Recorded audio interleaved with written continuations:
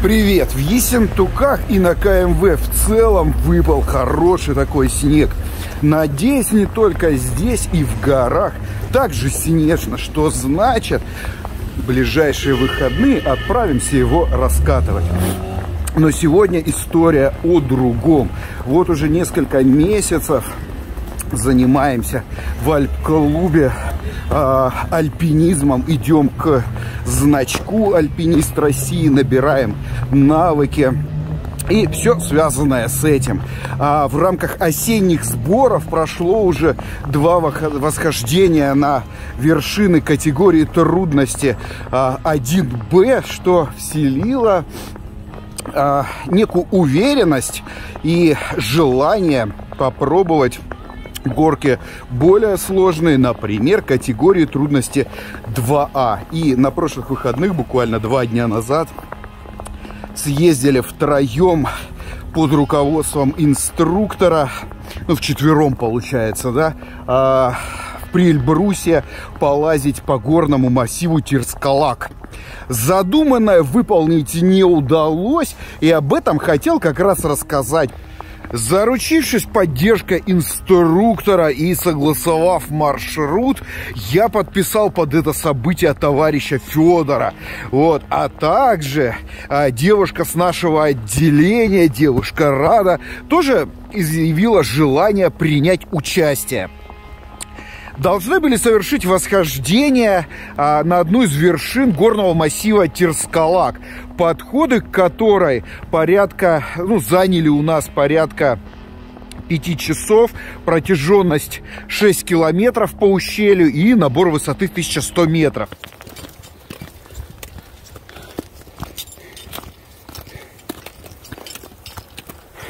Доброе утро, которое у нас начинается в поселке Терскол. Поднимаемся по Терскольскому ущелью. И нас сегодня должно ожидать приключение категории трудности 2А. Что это значит, пока непонятно. Но думаю, будет интересно. Федору. Да, Федор? Ради. Арумов будет скучать с нами.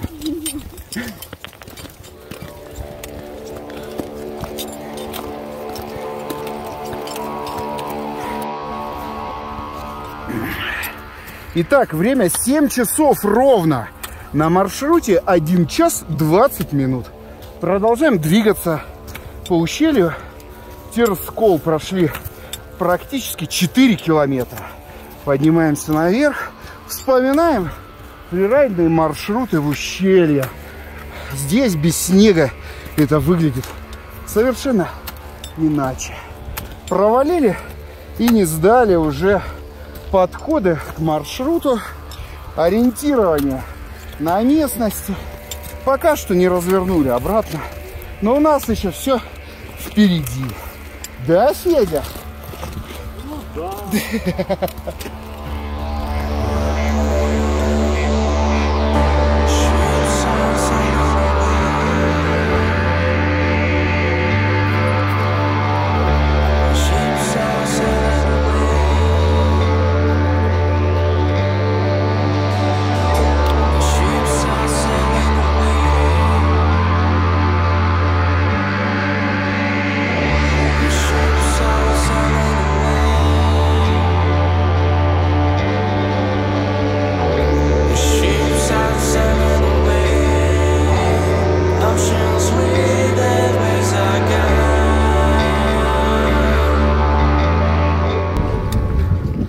Солнце появилось, одели очки, чтобы не спалить глазки. А вообще начинает поднакрывать кайфовое ощущение счастья и расслабленности. Ну, психологическое, конечно, не физическое.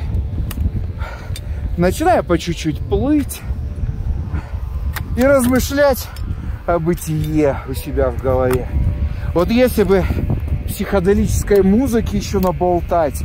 Но в альпинизме хождение в наушниках не приветствуется. А то Федя камень скинет сверху, а ты не услышишь, как он в тебя летит. Да. Поэтому представляю музычку. А тебе, конечно, включу, чтобы смотреть было интереснее.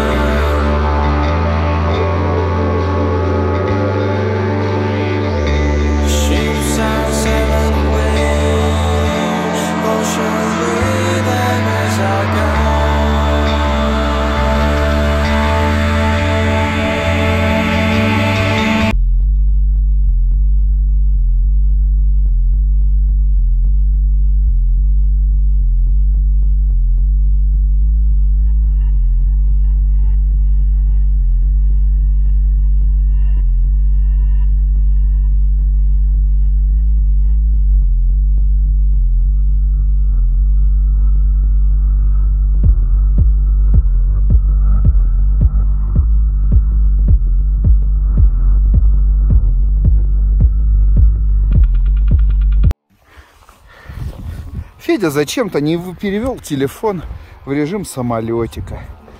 И теперь ему поступают звонки.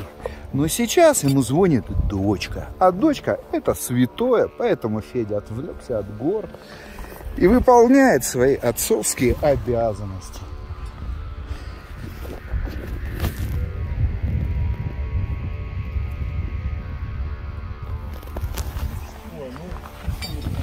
А Рада инстаграмчик проверяет. Не, не инстаграм. Отписываешься. Почти Рома просто контент. Все пределы. Главное, что есть интернет. Короче, случился факап, поэтому попрошу Раду повторить. Можешь указывать на ледник пальцем и говорить, как ты говорила? Как я говорила. Посмотрите, ты Посмотрите. что там? Что там? Что-то там ледник. О себе, а вот там Эльбрус. А там Эльбрус, да. Я просто случайно выключил видео и сторис не записал.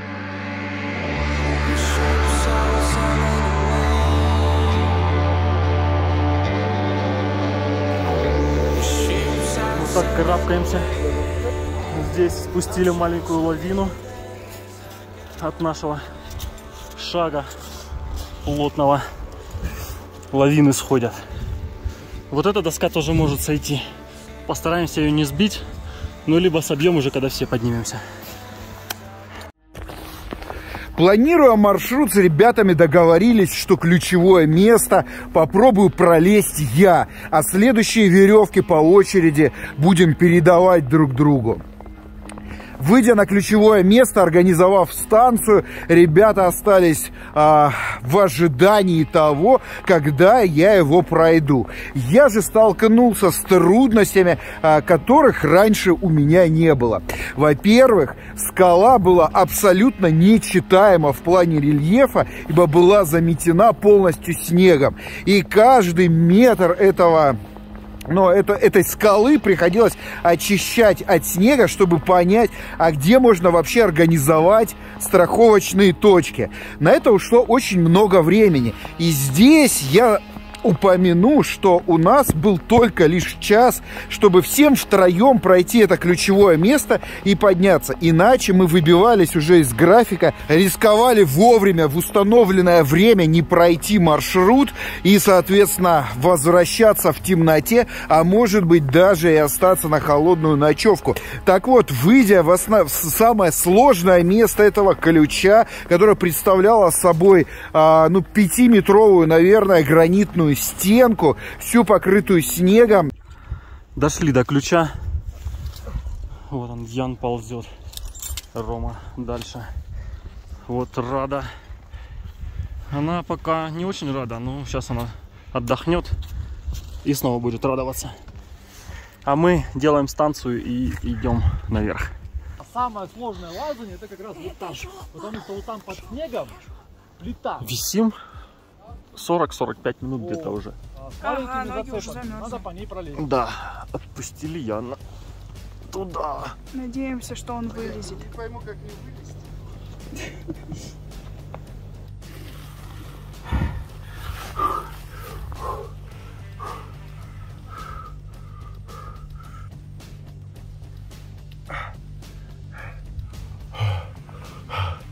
Стремно. Еще снег приходится разгребать. Как вылазить плиту? Ни хера не понятно. А он там ручкой зацепится, наверное.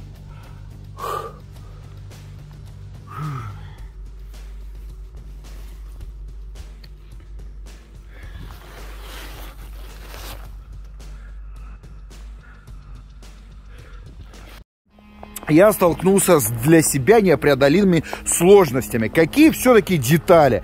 А, сугроб большой, который я начал расчищать. Под сугробом была э, скользкая гранитная плита. Справа, у которой была трещина. В эту трещину помещалась рука, но нельзя было поставить как-либо ногу, зацепиться ногой. Я поставил одну руку, поставил вторую, попробовал подтянуться, а, попробовал перехватиться выше, но у меня совершенно не получалось, потому что, во-первых, плита была скользкая, во-вторых, а, холодная, в-третьих, опыта у меня лазания еще недостаточно для таких вот мест. Потратив еще где-то порядка 20 минут, я понял, что отсюда, с ее правой стороны этой плиты, я не вылезу. Инструктор подсказал, что слева от плиты возможностей для лазания немножко больше. И действительно, трещины были там такие, что а, трещины в граните, в скале, а, зацепы под ноги были такие, что действительно можно было пролезть. Но я ковырялся в этом месте уже порядка полутора часов. И сил для дальнейшего продолжения у меня не было. Тогда мне пришлось признать, что выполнить а, ключ я не могу. Организовал перильную веревку и попросил товарища Федора подняться. Федор, который уже на тот момент, по, ну, где-то около двух, чуть меньше часов просто ожидал на станции, когда я все-таки завершу ключ, а, сбежал минут за 10-15. А, после этого девушка рада поднялась. А, мы все победоносно осмотрели вокруг и поняли, что дальше мы пойдем только вниз. Все, пост сдал на плиту, на вот эту залезть не смог. Она скользкая, обледеневшая, а с левой части не пошло у меня. Вылез на вот этот уступчик, где сейчас Федя, а дальше не смог подняться. Ни сил, ни понимания не хватило. Ковырялся, ковырялся. И передал лидерство Феде. Вызвал помощь друга.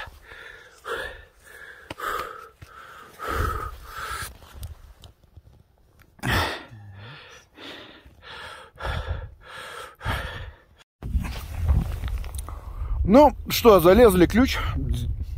Нельзя сказать, что мы какую-то задачу сегодня выполнили, но было прикольно. Сейчас полезем обратно. А вершина... Её не видно. А, и не видно. Она хоть тебе еще. Рада, молодец! Иди к нам. Осторожно только там.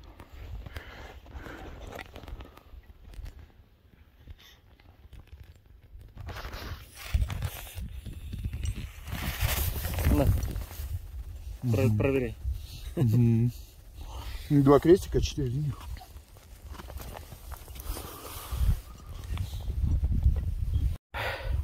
Все, дюльферяли вниз я не снимал, никто не снимал, видео нету. Ну, дюльферяли долго, нудно и утомительно. Сбухтовали веревку.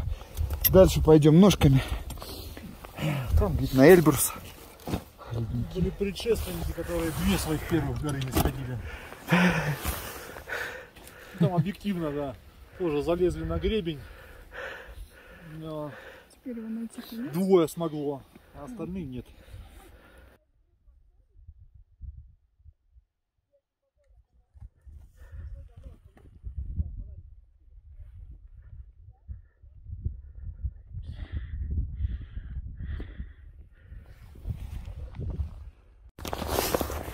В целом я кайфанул, поскольку столкнулся с непреодолимыми для себя сложностями на тот момент, но уверен, что если у меня сейчас появится второй шанс, наверное, я все-таки вылезу. Но это не точно. В любом случае нужно больше тренироваться, развиваться в этом направлении и попробовать маршрут еще раз. Уверен, что Федору тоже все понравилось, поскольку ключевое место вылез в итоге он, что, несомненно, должно было поощрить его тем самым эндорфиновым пряником. Ну и самоутверждение.